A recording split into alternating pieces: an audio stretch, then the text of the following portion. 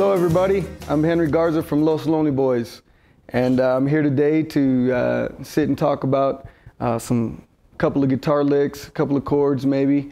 Um, we, me and my brothers, just finished a new record called Rockpango, uh, and it, it's it's got some uh, it's got some interesting guitar stuff on there that I uh, might be sharing with you today. We'll see if I can pull it off, because you know sometimes uh, the way I play, you can only play it once, and then you try to do it again, it, it won't happen.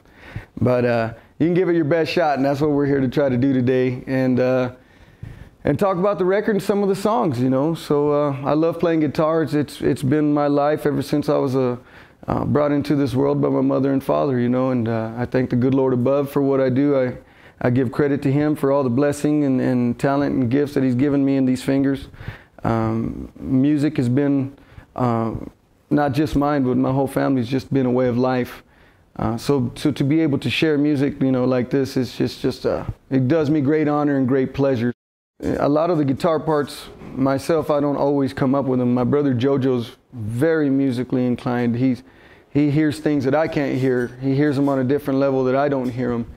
Um, sometimes he'll write a guitar piece and, you know, I'll have to just put my little spit and shine on it a little bit just so I can say that it was me playing it and not JoJo all the time, you know. I'm just playing JoJo. He's over there somewhere. So, but um, you know, this record, Rockpango, it took it took a lot of hard work to get this record done. Um, for us, it's a, we're really close to it just because we're very proud and, uh, of the songs and uh, the work that we spent on it. There's a lot of blood, sweat, and tears in this record. Not the actual band, but there's an actual real blood, sweat, and tears in the record. Um, you know, we, we had to put off uh, the record a couple of times. Uh, we recorded it out in Austin, Texas, out at Willie, Willie Nelson's recording studio in Pedernales. And uh, we always record there. We've recorded, I think, most of our recordings have been there at Willie's studio. Um, but this one, it was rough, like I said, to do, man. My, my brother Jojo came down with some uh, throat issues. He had to have some throat surgery, man, on, on uh, his vocal box, which was very scary because um, we went into the studio, we're ready to work, and we had the tracks down. I think uh, in just a couple of days, we had the the, the whole tracks pretty much there. Um, and when we started to roll into it, his voice just kind of uh, went out on us. So we went to see a specialist, and they told him, "Hey, shut up." Basically, a, medic, a medical you know deal to say, "Hey, you got to be quiet." He really he couldn't talk, he couldn't sing, uh, he couldn't eat certain things and uh, you know he couldn't even hum for that matter. He was he was under a, where you, he couldn't speak or nothing, and it was scary for us, man, um, because we are brothers, and music is what we've we've done our whole lives, and just the thought of our brother not being able to give his part like he is, man, um, like he has, you know, just scares us to death. So this record really means a lot to us. Uh, for that purpose alone, just that we got to finish it, and my brother got better. He's doing fine now.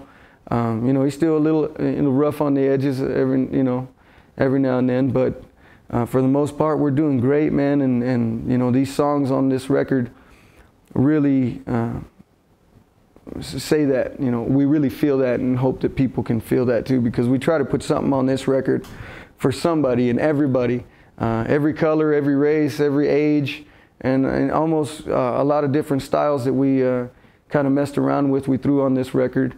Uh, had fun with a couple of tracks with some uh, hip hop stuff guys on there, but there's guitar throughout all of it. For the most part, everything was recorded three piece. Uh, I hardly did any overdubs on guitar just because I've done it in the past and we wanted for it to just kind of go back to the roots with this record as, as us as brothers playing. Um, there's a couple of overdubs, but nothing for the, like you're saying, for the most part, it really is just a, a live, um, raw album uh, with a with a little bit of polishing on it, you know.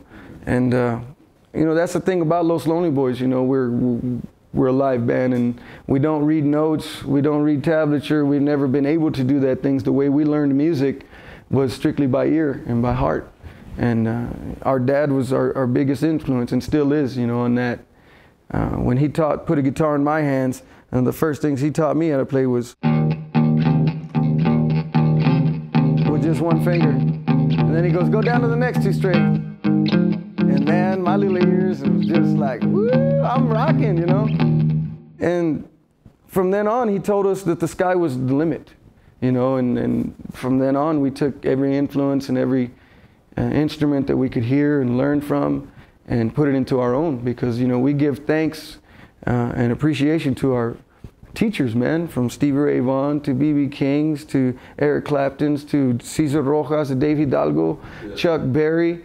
Yeah. You know, I mean, we, we give our props to those guys and know that when people listen to us, they're hearing those guys too because they, they live on through the young aspiring musicians that want to, uh, you know, continue and leave their mark with music.